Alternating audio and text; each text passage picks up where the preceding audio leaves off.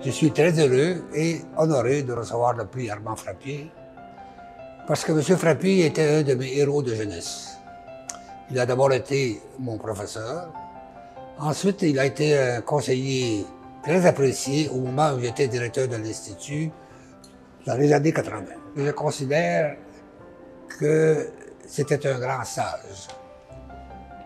Sa sagesse débordait constamment pour donner aux plus jeunes des conseils appropriés dans toutes les facettes de la carrière d'un scientifique.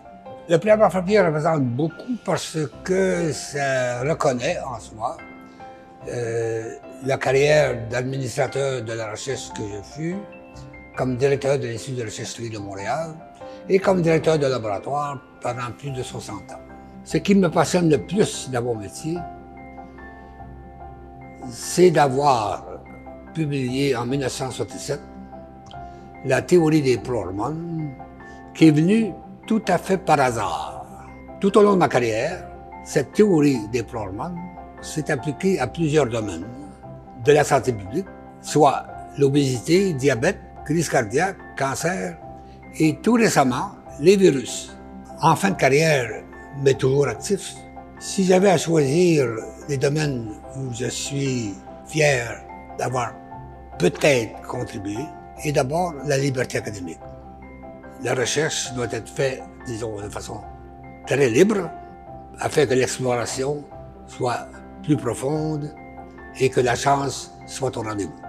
Deuxièmement, la promotion de la recherche en tant qu'activité d'une population ou d'un pays.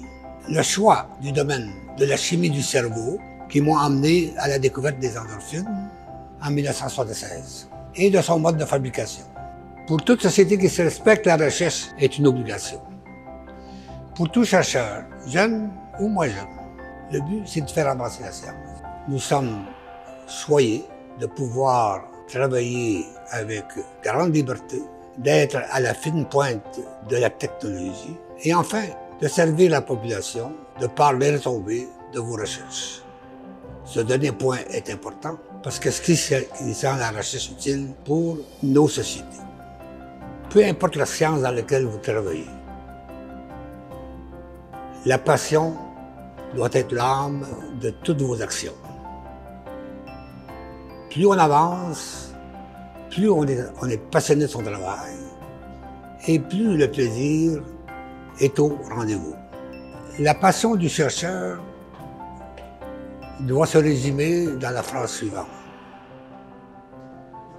Fais ce que doit, et le reste viendra par surcroît.